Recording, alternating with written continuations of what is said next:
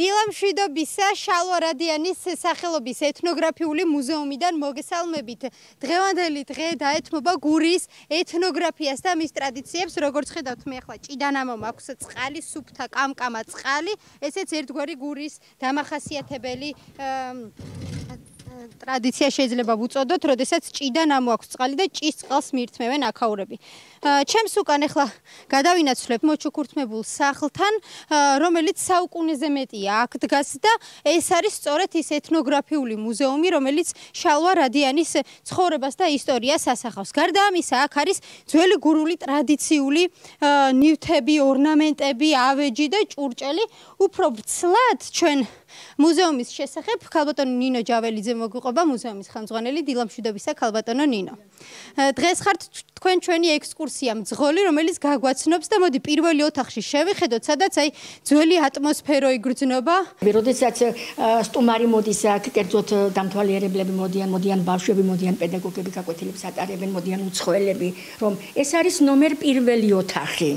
რომელიც რომელზეც მე ზოგადად საუბრობ, რომ ვინ იყო შალვარადიანი, რა გააკეთა ამ ადამიანმა, რა შეხება ქონდა მას სოფელ დუაბზუსთან, აი როგორ ვითარდებოდა ის დროთა განმავლობაში და რა წვლილი მიუძღვის მას, ახლა 30 წიგნისა და 300-ზე მეტი სამეცნიერო ნაშრომის ავტორი გახლდათ, 50 წელი უნივერსიტეტში მოღვაწეობდა, 30 წელზე მეტი მწერალთა კავშირის გამგეობის წევრი და იქ თანამშრომელი გახლდათ ბატონი შალვა. აი ხედავთ სურა რაც ეს ისტორიული სურათია.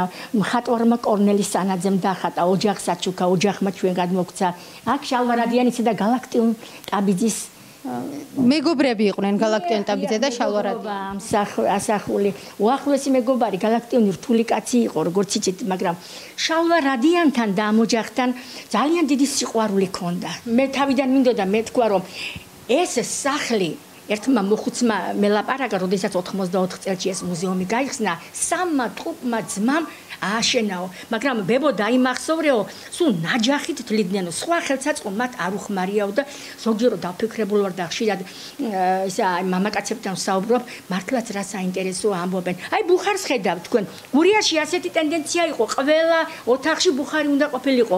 ბუხარი იყო სიმაგრის, სილამაზის, ჯანმრთელობის სითბოსაწინდარი. აი ეს ოთახი დათმობილია ჩვენი სოფლის წარჩინებული ადამიანების ცხოვრებას. მე თქვენ გითხარით რომ სოფელი დუაბზუ ისტორიული სოფელია. იმიტომ არის ისტორიული სოფელი რომ ეს ალექსანდრე ვუნტის სოფელია. ეს საერთოდ უდიდესი პიროვნების შალვა რადიანის სოფელია.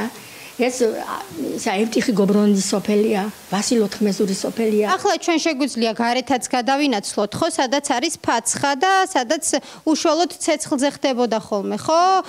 და საჭმლის დამზადება და გარეთ ხდებოდა ხოლმე, ძირითადად ერთგვარი სამზარეულო შეგვიძლია ვუწოდოთ ჩვენ სამადგილს, ხო? აი ესეთი ზოგადად იმერული ტრადიციაც არის და მოყვება უკვე საუკუნეებია, რომ გურიაშიც ცალკე ქონდათ სამზარეულო და ცალკე აკეთებდნენ ხოლმე საჭმელს, ხო? რაც აი ეს მუზეუმიც ამ ტკიცებს ცალ-ცალკე არის სახლიც და სამზარეულო. იცით საქმე რაში არის?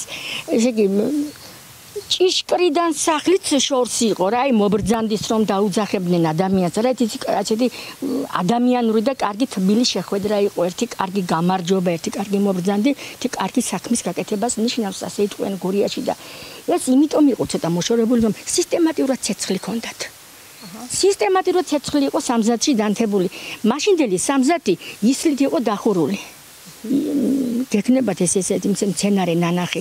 ეხლა კრამიტით არის, მაგრამ ისლით იყო დახურული და ძალიან სათუთი იყო ეს, სახურავით სათუთი იყო. კარგიც იყო. აი ზა რომ იტყვიან ზამთარ თბილი და ზაფხულ გრილიო, ძალიან საინტერესო იყო და აი მოშორებით ამიტომ იყო.